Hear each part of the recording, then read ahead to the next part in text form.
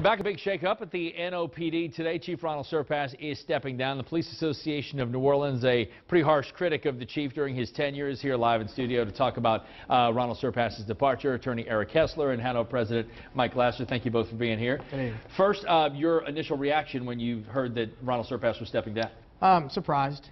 Really had no uh, knowledge of this occurring. We've heard rumors for, for months, even years, but uh, very surprised.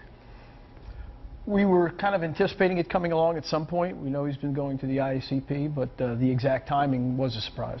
Now, Mr. Glasser, uh, you had in in July of this year, just a couple of months ago, or last month, you said that city officials were mismanaging the department, the mayor and the police chief, in such a way that it was almost like a slow Katrina.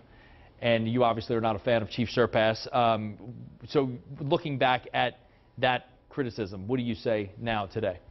Well, the bottom line is that when you have uh, the situation where the mayor has to ask for another police agency to come in on a permanent basis and police the city, to me that's a tacit admission that the police department you have and manage cannot do the job. And that's the first time in history that's ever happened, that And- we're in a position where we can't police our own city. Manpower has been an issue since before he got here. It's even worse now. He says it's a tough time to fill positions. People are retiring. You're losing people. He said it's just a tough environment. He's doing the best he could. That's what his supporters say. That's what he says. I disagree. The state police are having no problem hiring our people. Jefferson Parish is having no problem hiring our people. State police, uh, uh, St. St. Tammany is having no problem hiring our people. Those agencies have no trouble hiring police officers, most of which are ours, by the way. So hiring isn't the issue. It's here. That's the issue. Mr. Hessler, what's the um, look now going forward for the NOPD? Well, uh, uh, like Mike said, the, the situation that has been created has been created, I believe, at a, a level higher than the chief of police. I believe it was created from the city leadership. You know, they invited the DOJ down here, uh, and then as a to, to come in and, and implement the consent decree, and then make the detail system a part of that, which is, has nothing to do with constitutional policing. Uh, then the mayor comes back and said, we, we don't need the, the, the consent decree.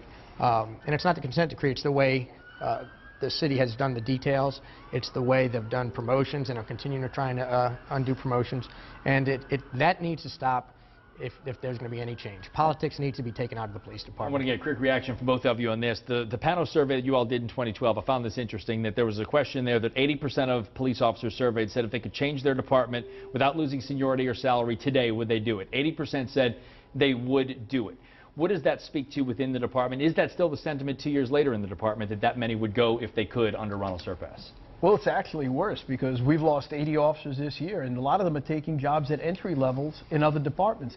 In some cases, taking even a slight pay cut in order to leave and start over again, which tells you that they're not just leaving if they can preserve their benefits, they're leaving even forfeiting benefits. Okay, let me get your answer. Well, I. I would agree with that, and it's not just Chief Serpas. It can't. It's not just one man. I, I- I find it hard to believe that Chief Serpas, as smart as he is, saw what was going on with the police department and didn't couldn't figure out a way to change it. I, I believe that that um, no one wanted to change it. We had Pano filed for a, a salary increase for police officers back in February. The city attorney's office showed up and opposed even the, the civil service investigating that. And now we learned that, as we, we always knew, that, yeah, NOPD officers are paid very, very poorly. And, and so far, the city has done absolutely nothing about it. All right. And that needs to change. Eric Hessler, Michael Glasser, thanks for the time. Wish we had more of it. We appreciate the insight. Thank you. All right, let's look at